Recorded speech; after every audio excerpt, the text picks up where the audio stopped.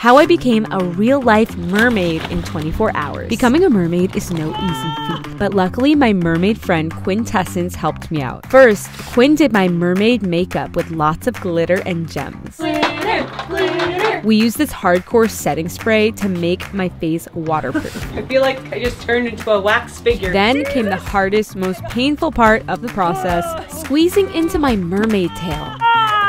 we did it! It was nothing.